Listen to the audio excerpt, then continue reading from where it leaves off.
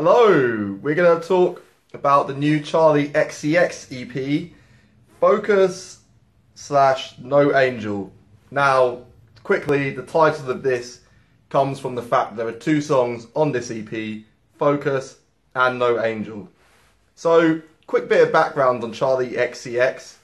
She has been around now for quite a while. Charli XCX came to everyone's attention really in 2012 with her feature and songwriting credit on I Love It by Icona Pop. She followed it up with a mixtape that was largely ignored. She returned in 2014, another feature, and this was on Iggy Azalea's Fancy. Fancy was a big hit in America. It reached number one on those charts. It reached number six in the UK. And again, Charli performed the hook, which was arguably the best part of the song and she had a songwriting credit on the song, and it really built up anticipation for her debut studio album, Sucker. This also came out at the end of 2014, and it had hits like Boom Clap, Doing It featuring Rita Ora, and Break the Rules.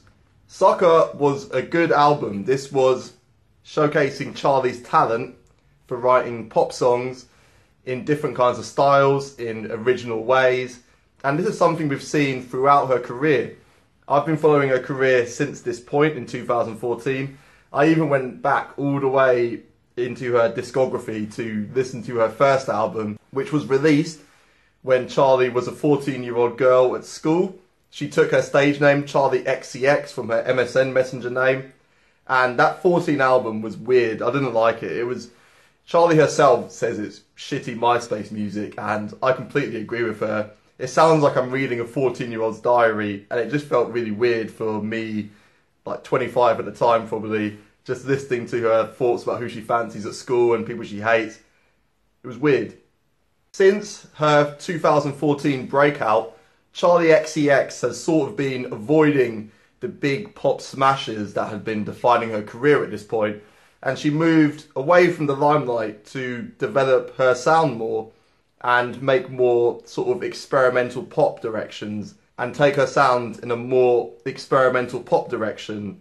She's released a string of mixtapes in this point, and some of them have been decent.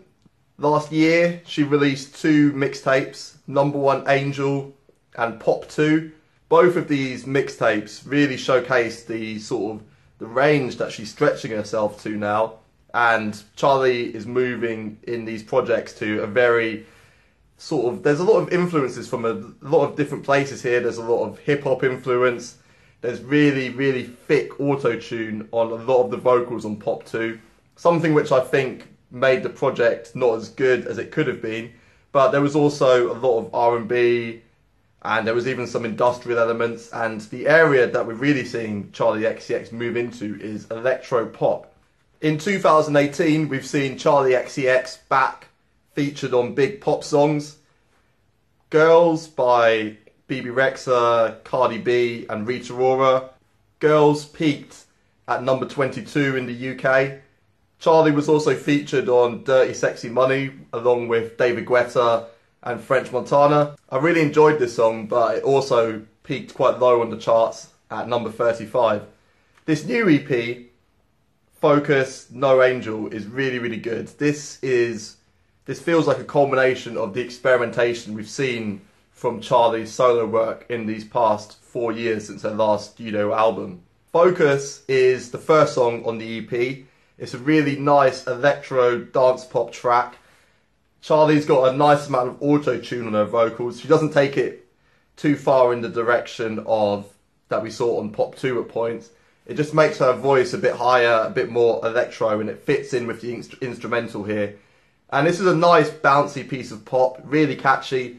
The hook is really, really re- repetitive. It feels like those sort of New Orleans bounce songs we're hearing at the moment, where everyone's just repeating, repeating, repeating, repeating as a refrain in pop at the moment. And it feels like that's a part of this composition as well. The repetitive hook on focus and the robotic feel on Charli's voice makes her sound like some sort of like fembot and that is a theme in some of her earlier songs. She did have a song called Fembot. Fembot was one of the better songs on the Pop 2 mixtape, where Charli basically talks about being like a fembot and being there for your pleasure. No Angel is easily one of the best songs in the Charli XCX discography. It's got a really nice, spacey production with quite hard hitting drums. The instrumental is quite sparse. It's got a really heavy bass line and drums that are quite, they give it quite a sparse feel and just lets Charli's vocals do the work in between the spaces there. And she does what she does best, talking about being a bad girl, that she loves fucking sex and taking loads of drugs and just staying out late. And it's just like her defiant anthem, and it's one of her better songs easily. I love how the auto tune reaches an even higher pitch during the chorus, and it really gives a lot of texture to Charli's voice and just makes it feel like a really passionate plea that she is no angel and you're not gonna fucking change her at all. And it's just what I love about Charli XCX, just defiant, boundary changing pop, and she's moving in this direction that I'm really excited by. I feel like a new album from her, which is a long time coming now. It's been four years since the last one. We've had these experimental projects in the interim. I feel like a new album is needed. She's released about four singles in the past two or three months, and I feel like this is the precursor to the third studio album. I just hope that it's not going to be one of those cases where we've heard all the songs on the album already released as singles. I hope there's some new material on there. And I'm really excited for this one. I feel like it's a great EP. Focus slash No Angel. Great EP. Really worth a listen. Only two songs long. Both excellent. Boundary changing pop. And we'll see where Charli goes next with this.